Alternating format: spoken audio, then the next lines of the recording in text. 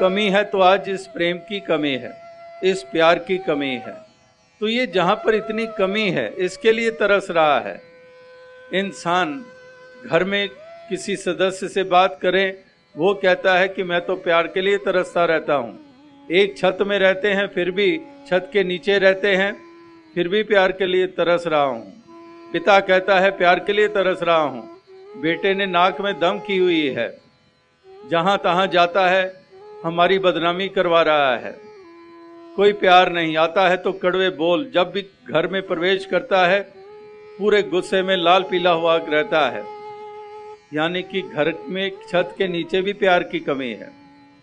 समाज में चले जाएँ, प्यार की कमी है। रिश्तों में प्यार जो है हमारा, वो वो भी कमज़ोर होता चला जा रहा है। ऐसा शिथिल होता चला जा रहा है। तो चारों तरफ़ एक प्यार की कमी होती चली जा रही है। तो प्यार की ज़रूरत ये हर किसी को है। प्रेम हृदय में बस जाए तो प्यार ही बांटते चले जाएँ। प्यार के भागीदार हर किसी को बनाते चले जाएँ। और भक्त जनों की विशेषता ऐसी होती है कि ये प्यार बांटते हैं, प्यार के भागीदार बनाते हैं, केवल उन्हीं को नहीं, जो इनसे प्यार करते हैं।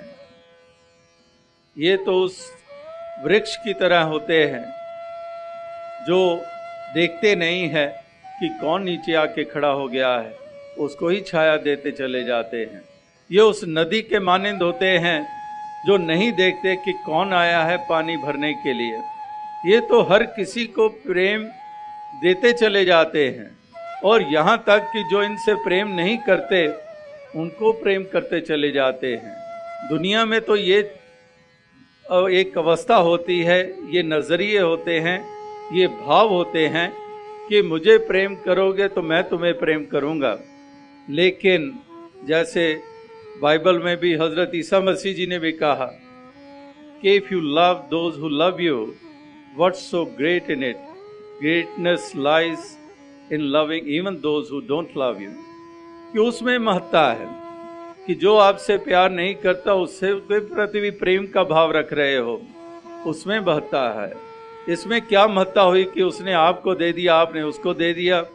प्यार तो इसमें क्या महत्ता है? इसमें क्या विशेषता है?